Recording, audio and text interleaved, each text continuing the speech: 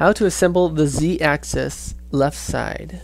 Alright, here we go. We need B7. 5 before 1, before 2, B7. And we need, ah, we need this acrylic piece here. So let's try and remove this paper. This is gonna suck. Okay, so since we're gonna be um, messing with a lot more of these tiny guys than I thought, I'm gonna go ahead and pull out one of these. It's an 8 millimeter wrench, but I got a ratcheting side, so that's gonna be fun for adjustments. Makes it a lot easier. Anyway, let's continue. Okay, cool. So we got kind of everything organized. Uh, we're going to start with the smaller of the pulleys. There's six pulleys. There's two small ones that are meant for the, the actual pulley section here. So um, the first step is to lock these bolts down just with the spring washer and this first nut. Let's do that really quick.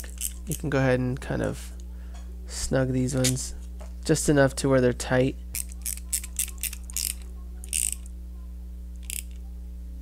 Alright, cool. So those are nice and tight. And then we're going to go ahead and just put these pulleys on here. And then put these uh, lock bolts here. These nylon locking bolts.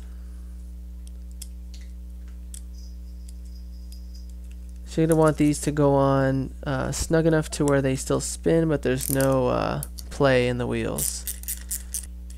That's good. No play. Perfect.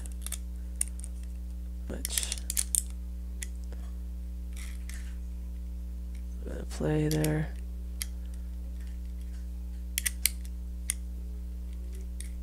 No play. Perfect. Cool. So we're gonna do the full the four pulleys just like the other piece that we did in, um, before. So it should be really really simple. So we'll just start with the long ones first. Long bolt, pulley, spring washer. Oops. Eccentric nut and then the nut here. So put up that little round spot in the, the eccentric nut there into the hole. And we're going to snug them on there. Just going to snug them on there until that spring washer goes flat. It's perfect. Probably a little bit too snug actually. Just a tiny bit just enough to get these to move nice and smooth. And the more you work them in, the more smooth it is. So don't think you have to keep loosening them. Just kind of turn them. Now it's really smooth and perfectly snug. So that's how you want them. Let's do the next one. Long bolt, bearing, spring washer, eccentric nut. Oops, eccentric nut, and the bolts here.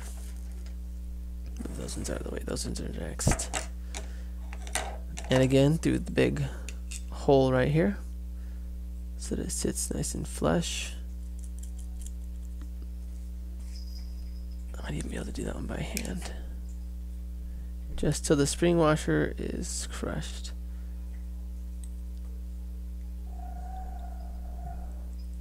Perfect. Alright, let's work on the next two. So we're going to go long bolt, bearing, two spring washers, nylon washer, and then nut. So these ones are going to go through the smaller holes here on the bottom.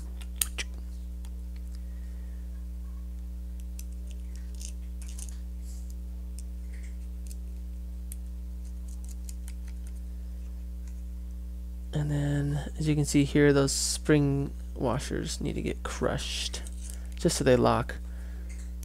So we're going to go ahead and do that. Okay, this one's going to need a lock.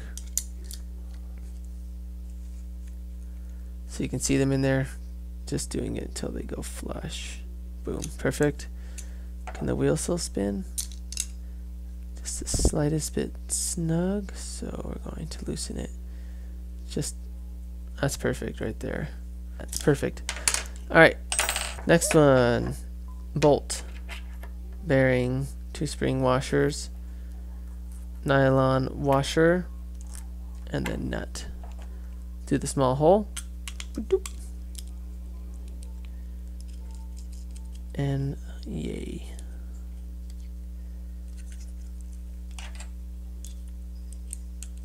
This is the most like monotonous part of doing something like this and it sucks. But it's to be so worth it.